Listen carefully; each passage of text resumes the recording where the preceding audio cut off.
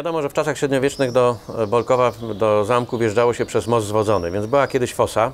Tą fosę oczywiście y, chronił most zwodzony. Po podniesieniu mostu mieliśmy znowu kolejną przeszkodę. Sama brama, wrota tej głównej bramy były chronione mostem. Musimy najpierw rozbić most, albo go jakimś sposobem spuścić z powrotem na dół. Po czym forsujemy potężne wrota okute żelazem. Łupiemy to pod cały czas bocznym ostrzałem obrońców, łupiemy te wrota, łupiemy. Udało nam się przebić przez te wrota. Wpadamy do tej szyi, do tego jak gdyby takiego wiaduktu, pod, jakbyśmy pod wiadukt wchodzili, wpadamy do tej szyi i tam nas czekała bardzo przykra jeszcze niespodzianka, o której często y, mało kto sobie zdawał w pierwszej chwili sprawę. Na końcu ta szyja była zamknięta kolejną potężną bramą. Ale kiedy w środku wypełnił się tłum y, atakujących, z góry, ze specjalnych szczelin, wyjeżdżała z ogromną siłą, spadała na dół tak zwana brona czyli po prostu krata. Ona na końcu, to była wykonana często z drewna, ale bardzo e, gęsto okuta metalem. Same końcówki tej e, brony były okuwane żelazem, bardzo ostre i po prostu to spadało z góry na atakujących, miażdżąc ich kompletnie.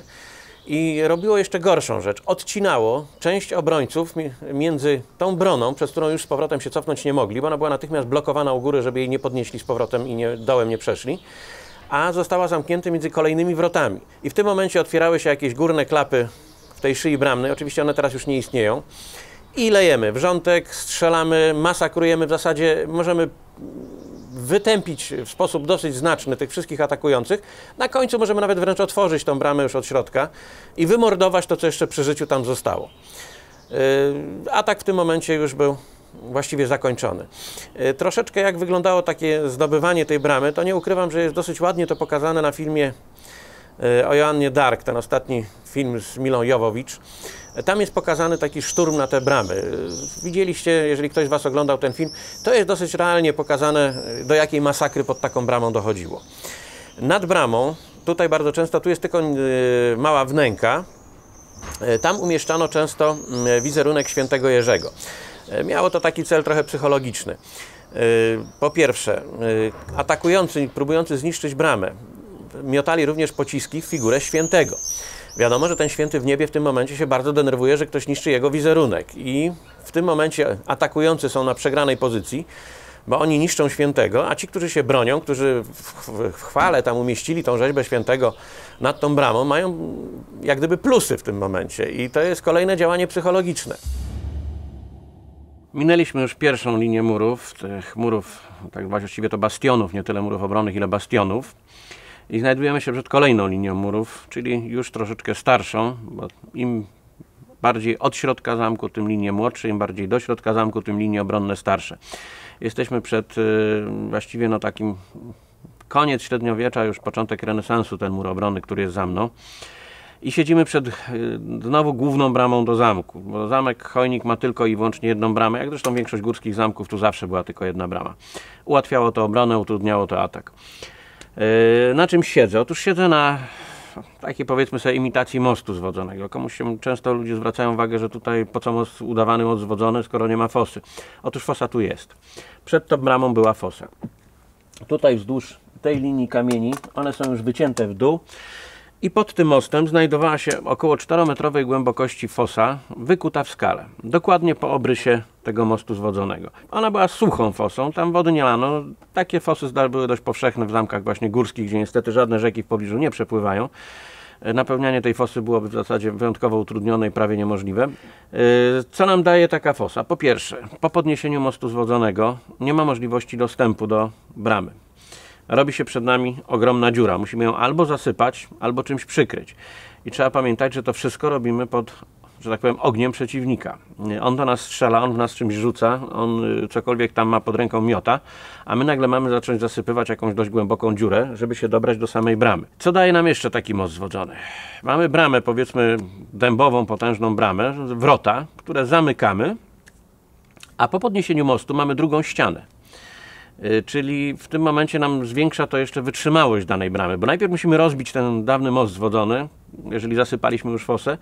Do tego wszystkiego potem trafiamy na kolejną bramę, w środku te, na te wrota drewniane, najczęściej dębowe, okuwane żelazem często. Rąbanie tego siekierą no, jest wyjątkowo utrudnione, bo co chwilę trafiamy na metalowe czpienie, jakieś powbijane ćwieki, więc y, niszczy nam się sprzęt, którym próbujemy tą bramę rozbić. Tak na dobrą sprawę najprościej będzie to wszystko rozwalić taranem i to jest najszybszy sposób. Jednym z takich sposobów, powiedzmy, bierzemy ogromny dębowy pień, ostrzymy go tutaj z tej strony i umieszczamy pod nim wózek, na którym jest pełno kółek. Tutaj ten numer by nie przeszedł, bo niestety po pierwsze mamy tutaj y, bramę pierwszą, która jest ustawiona pod kątem do bramy drugiej, bo nigdy bram nie ustawiano w jednej linii, one zawsze były rozstawiane w różnych punktach, żeby nie były w linii prostej. Ustawienie potężnego działa mogłoby przebić nam wszystkie bramy. Tutaj zawsze jedną bramę rozwalimy, kula trafia w mur, dalej nie przechodzi. Więc to jest pierwsze utrudnienie. Gdybyśmy chcieli takim wielkim taranem tu wjechać, no to też już mamy kłopoty, bo y, troszeczkę bram tutaj, y, ustawienie kątów tych bram y, pokiereszowało szyki trochę ale gdzieś tam na niezinnym zamku, gdzie mamy tylko fosę, most już jest podniesiony, rozpędzamy taki taran, on na tych kółkach się wysuwa, tu ma sporą przeciwwagę, uderza w bramę, rozwala ją dokładnie, wbija się do środka i przykrywa jednocześnie nam fosę. Ponieważ tutaj ta siła, e, ten ciężar był tak rozłożony, że on nawet będąc kołami przed nimi nad fosą, nie zapadał nam się w dół, tylko zostawał e, w takiej pozycji.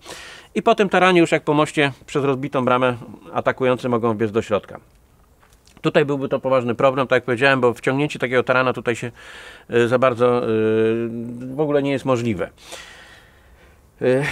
Bardzo często właśnie w górskich zamkach kuto takie fosy. One nie otaczały całego zamku, ponieważ zamek był w górach najczęściej budowany na skałach, które same w sobie e, już chronią dosyć skutecznie. Jeżeli to są występy skalne, wysokie ściany, no to już w zasadzie mamy połowę roboty z głowy.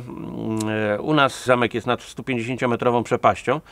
Czyli z tamtej strony w zasadzie nie wymaga żadnej obrony, bo od tamtej strony nikt się po prostu nie dostanie. Są zamki, które w ogóle stoją na cyplach skalnych i dostęp jest tylko z jednej strony przez wąski cypel, a cały zamek stoi nad przepaściami, pionowymi ścianami, które mają od 80 do 100 metrów powiedzmy wysokości. Na tym na krawędziach ścian stoją jeszcze mury obronne e, podnosząc tą wysokość do o kolejne jakieś 20-30 metrów. No jest taki francuski zamek, który miałem przyjemność już oglądać, nazywa się Keribus. Zamek stoi nad 200-metrową przepaścią. To jest po prostu absolutnie piorowa ściana, 200 metrów wysokości. Na dole tam w zasadzie nie widać, żeby się coś w ogóle poruszało z tej odległości. Więc, y, a dostęp jest tylko z jednej strony po bardzo paskudnych, krętych i wysokich i długich schodach.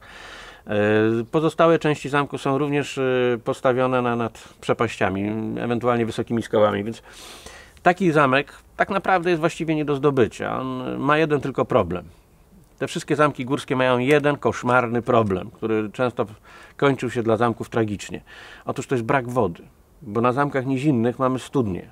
Możemy wykopać taką głęboką dziurę w ziemi, że woda nam się tam musi pojawić, a ponieważ woda najczęściej jest dookoła, bo zamek stoi nad rzeką albo ma fosy dookoła, z reguły zamki czy miasta budowano w pobliżu rzeki, żeby był dostęp do wody, to ta woda nam się w tej dziurze pojawi, tam nie ma silnych na to. Natomiast w zamkach górskich po prostu w skale no nie wykopiemy studni. Tutaj ja rozmawiałem ze specjalistami, mówią, żeby na przykład tutaj, na tym zamku dojść do, do wody, to trzeba się przekuć 300 metrów przez skałę. No nierealne po prostu zupełnie.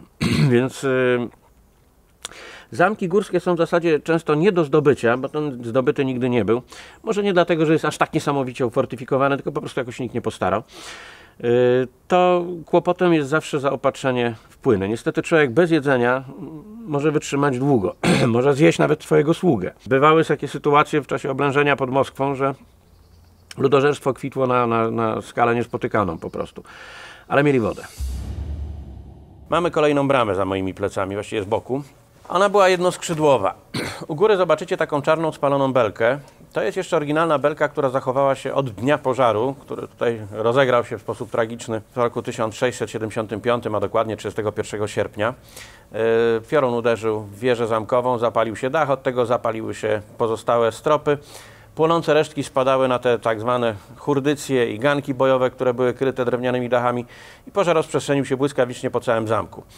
Jest to ostatni drewniany element, jaki można jeszcze na tym zamku zobaczyć z czasów świetności zamku. To jest właśnie ta spalona belka. Po prawej stronie tej belki jest wycięty taki otwór. Tam był zawias. E, czyli to były wrota jednoskrzydłowe.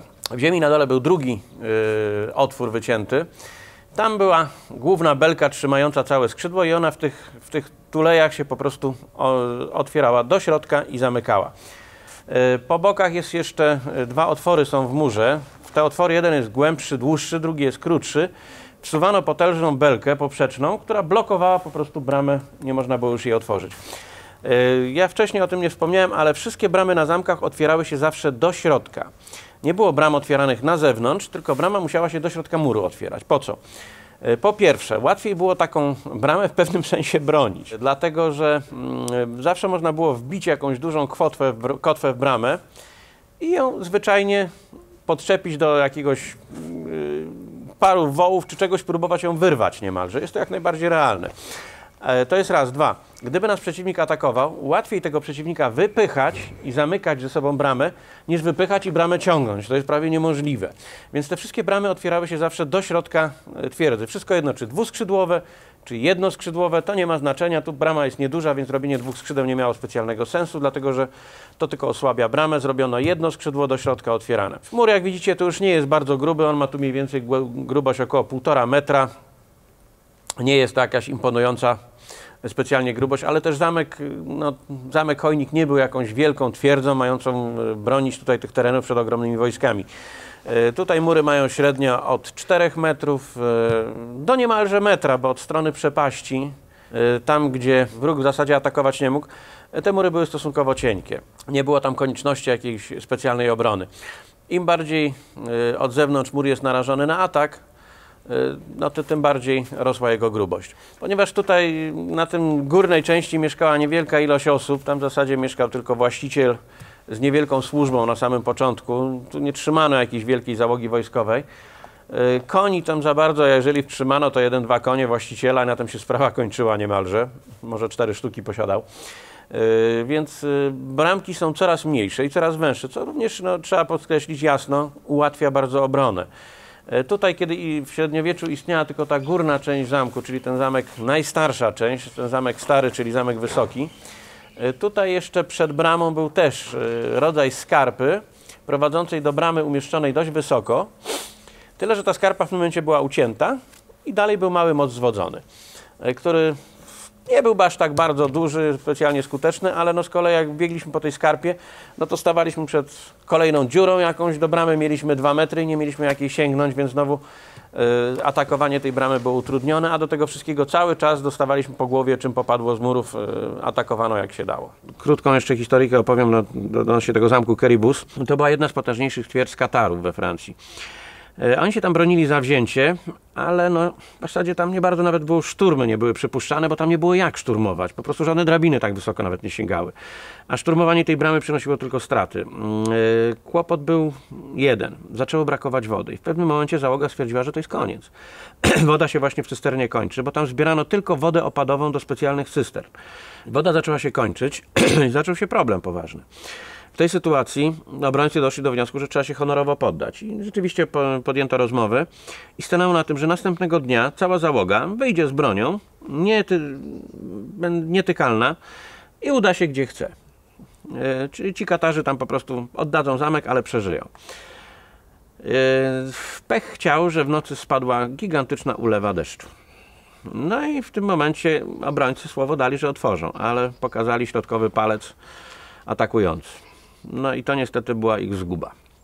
Otóż wszystkie szczury, jakie były jeszcze na zamku, wlazły do, tych cyster, do tej cysterny z wodą, żeby wypić te resztki wody z cysterny, bo już wszystkim się pić chciało. Jak przyszła ta gwałtowna ulewa, szczury się tam wszystkie utopiły po prostu. Po trzech dniach woda była tak zatruta, że w zasadzie ludzie umierali na stojąco, którzy ją pili. I po kolejnych kilku dniach atakujący weszli do zamku, dobili jeszcze tylko tych, którzy jeszcze w ogóle żyli i na tym się skończyła cała obrona.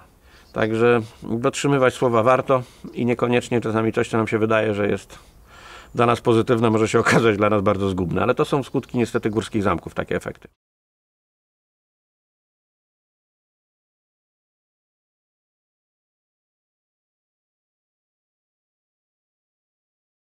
To nie jest tak, że to taka cienka ścianka z ziemi była usypana, tam sobie siedzieli wojowie u góry i naparzali. Kaliber 20, 30, 40, 50 mm, cokolwiek stanie przed tą bramą, urywał ręce